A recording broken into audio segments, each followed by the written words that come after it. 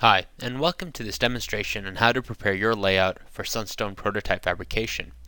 What we're looking at here is a, is a completed um, design in the NI Ultiboard environment. You'll see the various components, uh, LEDs, copper routes, etc.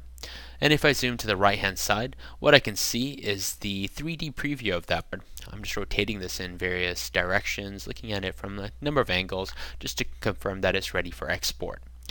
I'm now ready to export my Gerber files to Sunstone for, to begin the actual fabrication process.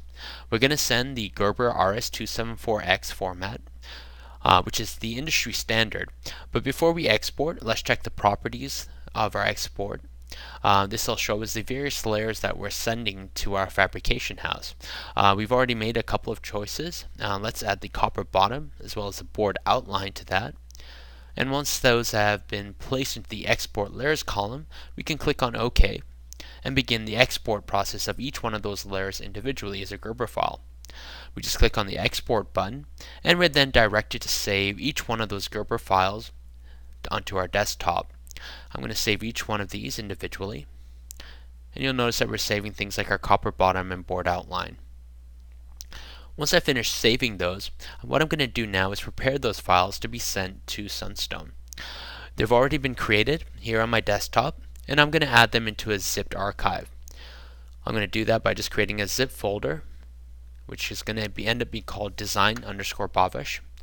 I'm going to add all of those files to the folder, and then I'm going to send it to that archive or that compressed zip file. Once that file is created, I can now upload this to Sunstone. Now Sunstone, with their collaboration with National Instruments, has created a special web page called sunstone.com slash multisim where you can find various bits of information as well as the three fabrication choices uh, including value proto and what we'll be using today which is PCB Express.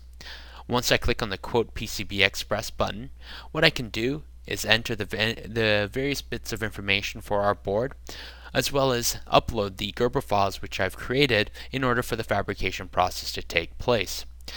With this collaboration, it's very easy to finalize your board.